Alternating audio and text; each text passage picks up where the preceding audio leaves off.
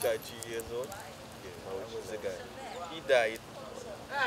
So, Then, yeah, three years old. So, um,